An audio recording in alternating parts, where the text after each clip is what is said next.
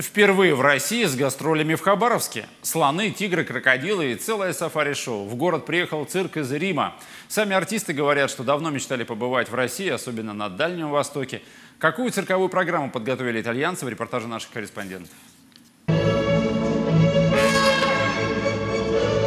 Итальянцы славятся не только своей энергетикой. Из-за трепетного отношения европейцев к участию животных в цирке дрессура здесь особая. Артисты почти не сидят в клетках. Слоны свободно разгуливают за кулисами и по манежу. Вместе с тиграми и слонами на гастроли в Россию отправились питоны, крокодилы и много змей. Все очень воспитанные. Э, Можем сейчас хоть чай пойти с вами пить, они все равно будут на месте. Я дрессировщик в пятом поколении. С детства умею чувствовать животных. Каждому у меня есть свой подход.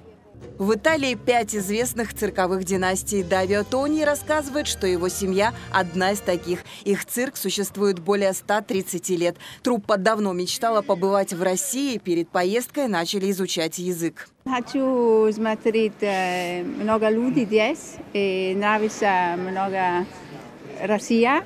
Люди очень приятно, и город очень красивый. И спасибо. Все. Чао, мама. Сейчас на манеже последние репетиции. Премьерное представление назначено на эти выходные. Итальянцы планируют покорить хабаровчан также иллюзионным аттракционом, которые есть в репертуаре только у этой труппы. Детей до пяти лет приглашают бесплатно. Взрослым билеты советуют приобретать заранее. На премьеру свободных мест уже нет. Хабаровск, мы ждем, не ждем тебя. Наталья Шиян, Дарья Небора, Александр Шумихин, телеканал «Губерния».